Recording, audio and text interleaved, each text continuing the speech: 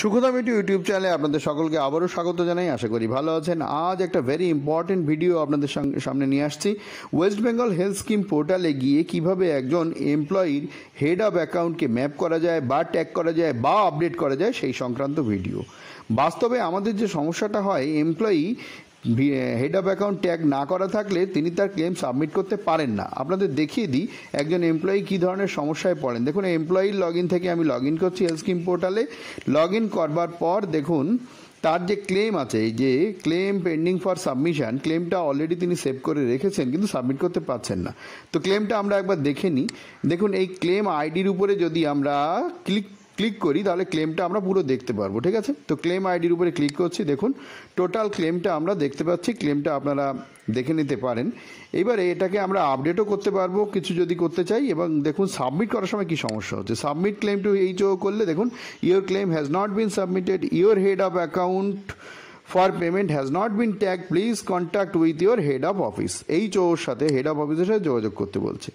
আরও একরকমভাবে আপনাদের সমস্যাটা কি হয় সেটা দেখাচ্ছি। দেখুন, আবার আমি ক্লেমে গিয়ে সাবমিট যা যা সাবমিটে ডাইরেক্ট ক্লিক করছি। সেখানেও দেখুন, এই একই রকম মেসেজ আপনাকে দিচ্ছে। তো এইবারে আমাদের যেটা করতে হবে হেলথ স্কিম পোর্টালে পোর্টালে এইচ ও ও ডিডিও নয় এইচ ও লগ ইনে লগ ইন করে এটাকে আমাদের করতে হবে।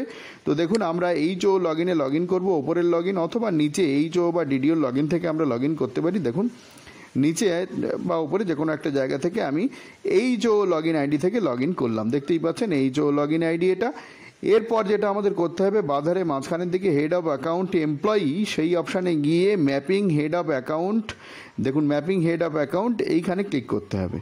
ক্লিক করার পরে তারপরে আপনার ডিডিও কোডটা সিলেক্ট করে নিতে হবে ওখান থেকে। ডিডিও কোড সিলেক্ট করার পরে তারপরে দেখুন সমস্ত এমপ্লয়ির নাম আপনার চলে এলো যে কোনো একজন বা সবাইকে আপনি সিলেক্ট করতে পারেন, ঠিক আছে?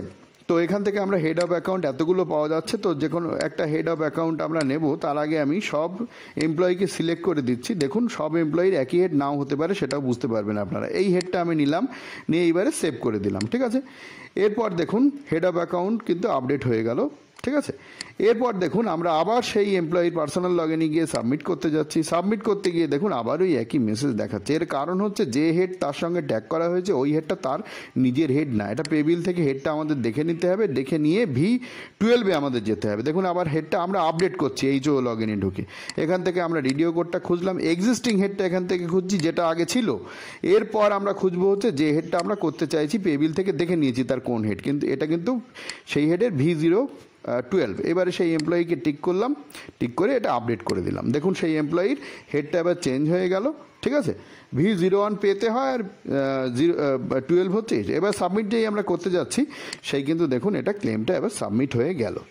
তাহলে আশা করি আপনারা ব্যাপারটা বুঝতে পেরেছেন যে কীভাবে কোনো একজন এমপ্লয়ির হেড অফ অ্যাকাউন্টকে ট্যাগ করতে হবে অথবা হেলথ স্কিম পোর্টালে ট্যাগ করতে হবে অথবা হেড অফ অ্যাকাউন্ট কীভাবে আমরা আপডেট করতে পারি। তো ভিডিওটা ভালো লাগলে লাইক করবেন শেয়ার করবেন। ভিডিওর নিচে ডিসক্রিপশন বক্সটা অবশ্যই ভিজিট করবেন। সেখানে অনেক কাজের ভিডিও দেওয়া আছে। চ্যানেলটাকে সাবস্ক্রাইব করে রাখুন।